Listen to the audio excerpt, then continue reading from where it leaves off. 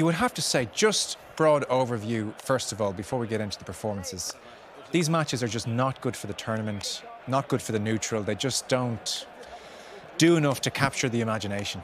Uh, Joe, I love the game and I owe the game a lot, but I've got to agree with you. It's uh, it was a pretty turgid game to watch, wasn't it? The the, the Italians, well, they, they I, I, don't know how Ian feels sitting next to me here, having worn the jersey.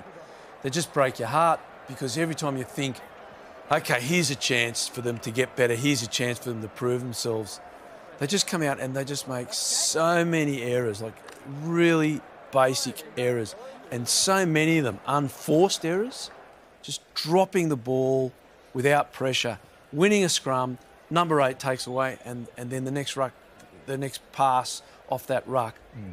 it just goes to ground, goes to Neville nobody, you know, it, it, and there's knock-ons and there's terrible um, uh, offsides and, and, and penalties to give away and then they defend so well, and then they miss a tackle. It's, yeah.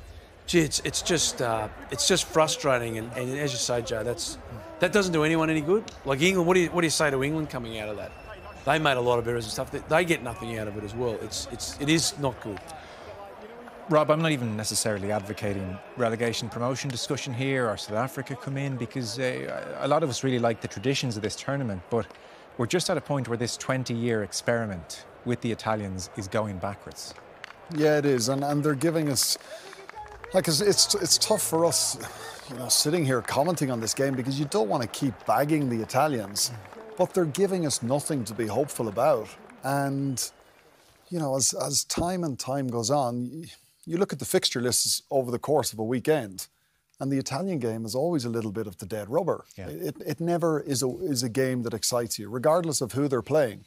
And, you know, that's the part of the tournament. If we want to make this really great tournament and for it to continue to be the best rugby tournament in the world, we can't have dead rubbers in there. Mm. And unfortunately, at the moment, that's what these games are. Mm. It's still the five nations, really, you know, because the Six Nation, well, they were, let's, let's, let's be honest, they were competitive. They were, they, they were, they were winning some games yeah. at, at the turn of the century, you know, up until the early 2000s. But, but the last number of years have been really, really tough. But you know, even if every two years mm-hmm. they sprung a shock, which kind of had been the case. I mean, yeah. and, and, there were tricky games and last minute winners, and Ireland had some, you know, tetchy moments in Rome and a drop goal to, to, to win here and there. Just if there was a sense of jeopardy about the Italian games, we could live off once every two years. But at the moment, as Rob said, they're dead rubbers, and that's the problem for the tournament. Yeah, and as I spoke, you know, at, at the start of the programme, you know, you try and build a foundation which you did feel Kieran was Kieran Crowley and his coaching staff were doing. You take one step forward, you take three back. So. Yeah.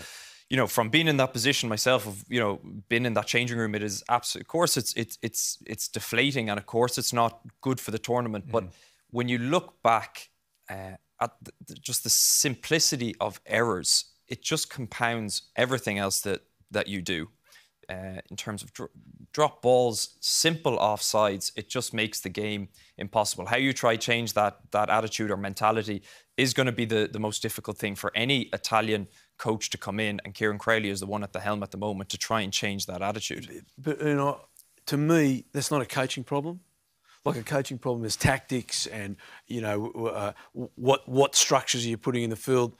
There's not a structural or tactical problem. They can't they can't complete passes and they can't they're not making tackles. So the responsibility, from my point of view, is 90% back on the player, on the Italian players here, because you've, as Robbie put it out, you've got the non-negotiables. Now you can't say to Kieran Crowley, say to an international player, by the way, you've got to catch that pass.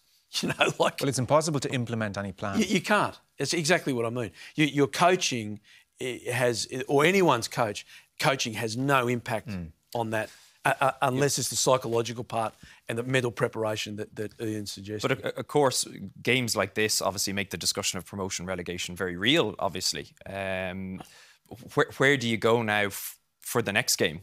When, when Italy play Ireland, what is what is going to be the mentality, or you know, how do players pick themselves themselves up for that titanic battle going going against Ireland? But if you know, 100% agree that games like this we we find find it difficult during the game to speak about many positive aspects. Mm. And, and England, you know, got the job done and, and they'll go away with, with the points in the bag, but they themselves won't be satisfied. And Matt no. talked off air, you know, Italy's or England's performance maybe went down a little bit, you know, just because it was all too easy. Yeah. Uh, but all too the, easy. They're still on zero there.